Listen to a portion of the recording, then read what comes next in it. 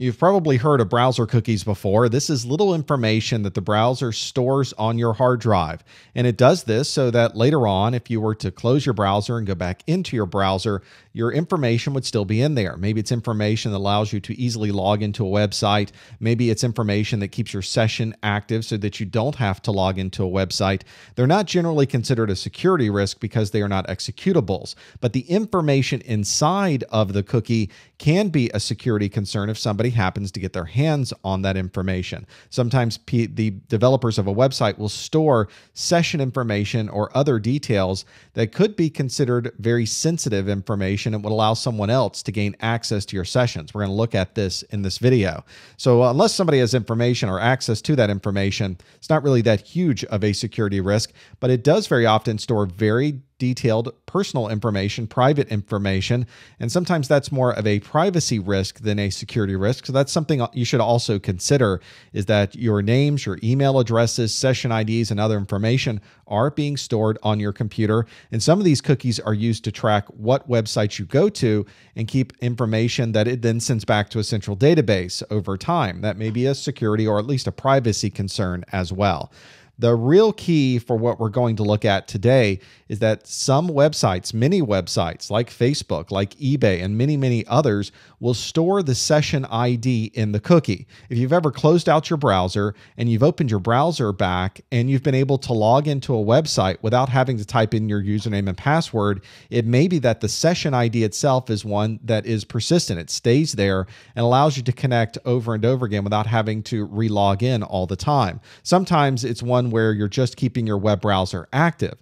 If the you have different controls over the cookie. If you're a developer, you can decide whether that cookie is only available for the lifetime of the browser, whether it's only available for a certain amount of time. Maybe it's one that stays regardless of whether you close the browser or not. So you never are quite sure. You have to go to each individual cookie and look if that's something you're interested in seeing.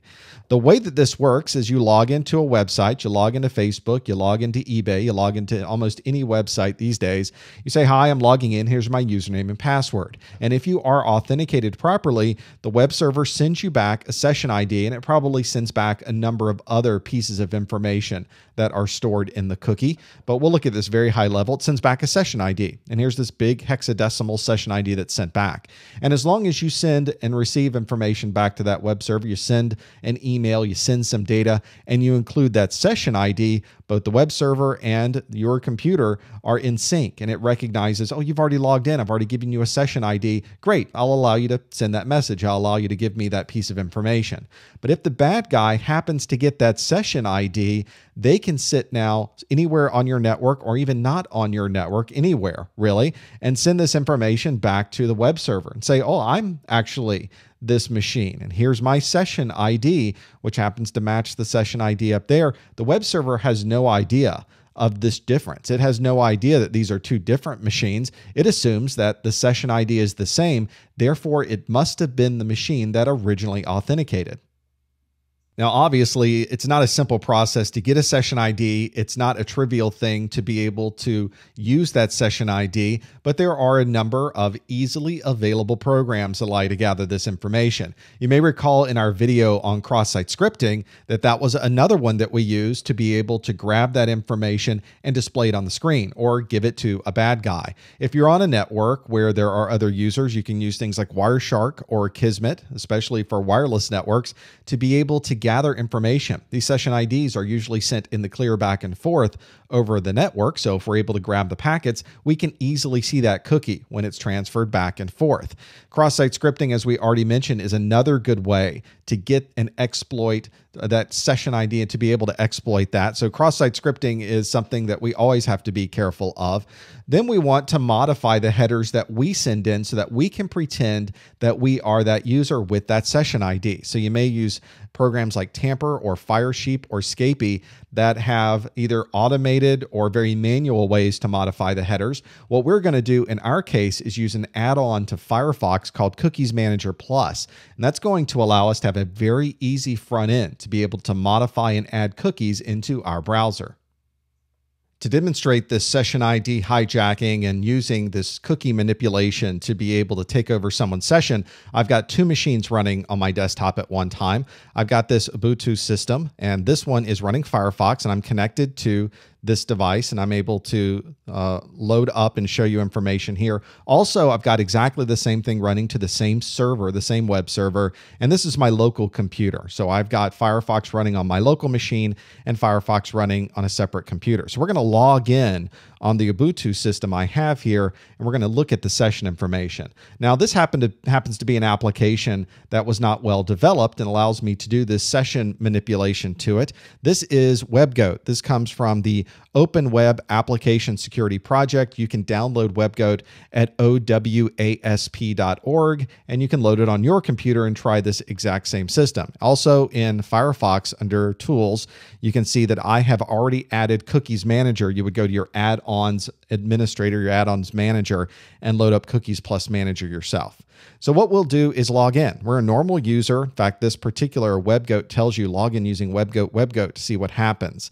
And let's do that. Let's log in with WebGoat with password WebGoat. And this is a very simple application. It doesn't do anything other than tell you that you're logged in. So you can hit refresh a few times resend this information. We're still logged in. So nothing really unusual about that. Nothing changed with this. If we go over to our other computer and refresh, you can see we are definitely not logged in to that computer. Now, because we're logged in as WebGoat, we should be able to look at this cookie information. So under my Tools pull-down menu, I'm going to go to my Cookies Manager. And you can see I've already got a filter here for this single computer. So we're just looking at cookies for that IP address. And I have a session ID. You can see this session ID content right here. This is the value of the session ID information.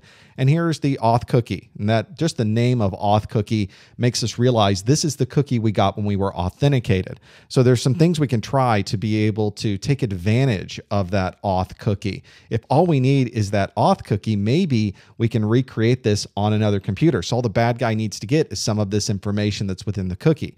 So let's try that. I'm going to highlight this. I'm going to copy that auth cookie. And what I'd like to do is recreate it on my computer over here. So we're going to use move to the other browser and we're going to use that auth cookie. Let's pull this down and I'm going to pull up my menu. Under tools, we're going to choose our cookies manager as well. And here's the cookies manager for this computer. Notice I don't have an auth cookie on this computer. We need to add that new one. So let's do that. And let's type in exactly as it was on the other auth cookie. And for the content, let's put in exactly that same auth cookie. I'm just going to paste it right in and click save. Now let's see what happens here if I do a refresh. Notice because I have exactly the same auth cookie, I'm now logged in. I didn't have to put in a username. I didn't have to put in a password. I'm simply now logged into this computer exactly the same way the other user was. And this application is really bad because I can even log out. You can see clearly I'm not logged in anymore. I can refresh this page. I'm not logged in, but if I refresh over here, I'm still not logged out. So even though the other user turned off their computer, they went home, the cookie is gone in that other machine because I was able to steal it. I'm still authenticated. I'm still in this application and I can still use it exactly the same way the real user would have been able to use it. And that's the way that the bad guys would take advantage of these victims is to be able to steal that cookie information, recreate it in their browser very, very easily. And now they have exactly the same rights as the victim.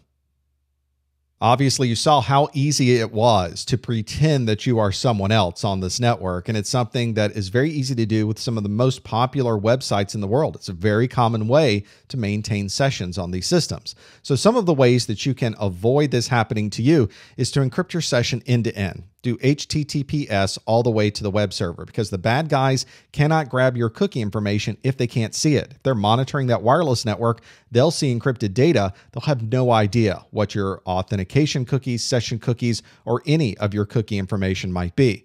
Now, this puts an additional load on the web server. Being able to do encryption is not a trivial task, and it, it really involves a lot of additional resources. So, not all web services will allow this, not all websites allow this.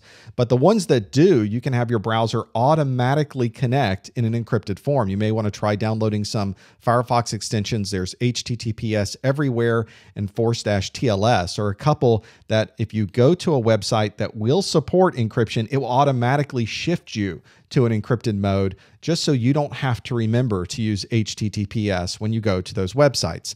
Another thing you might try to do is encrypt at least across the wireless network. Maybe it's from your computer to at least somewhere else, so that if somebody was in your local coffee shop on your wireless network that's in a hotel, they at least would still not be able to see things in the clear. You can see this, for instance, using things like a personal VPN, like OpenVPN, VyprVPN, or any of the other VPN solutions you might have at your office would ensure that nobody would be able to at least see that locally. Other people might want to use things like session ID monitors. There's things called Black Sheep and application specific ID monitors for each individual app. That is not a perfect solution, but it will at least allow you to see if yourself or other people are out there on the network. Black Sheep's an interesting one because it will send fake session ID information out, and the bad guys never know which one of those session IDs is really legitimate. Session ID hijacking, being able to manipulate these cookies, is obviously a security concern, and you should be sure that the applications your users are using and the ones that you're using in your environment are protected against these types of hijacks.